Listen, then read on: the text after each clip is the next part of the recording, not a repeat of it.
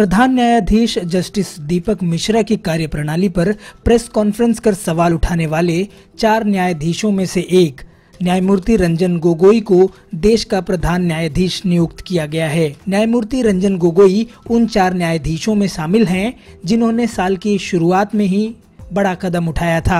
आपको बता दें कि प्रधान न्यायाधीश दीपक मिश्रा 3 अक्टूबर को रिटायर हो रहे हैं और उनकी जगह पर तरुण गोगोई 3 अक्टूबर को पदभार ग्रहण करेंगे। सेवानिवृत्ति से पहले गोगोई इस पद पर एक साल तक रहेंगे। रंजन गोगोई को 23 अप्रैल 2012 में सर्वोच्च न्यायालय का न्यायाधीश नियुक्त किया गया था।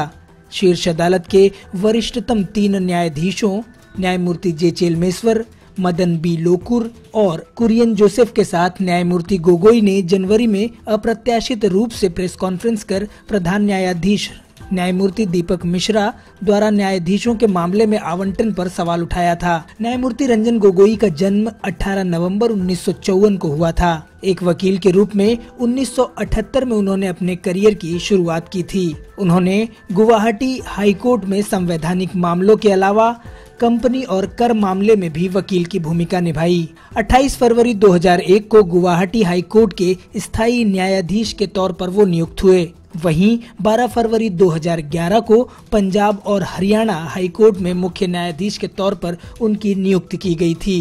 सोशल मीडिया पर खबरों की लगातार अपडेट के लिए आप देखते रहिए हमारे चैनल को और हमें सब्सक्राइब भी करें।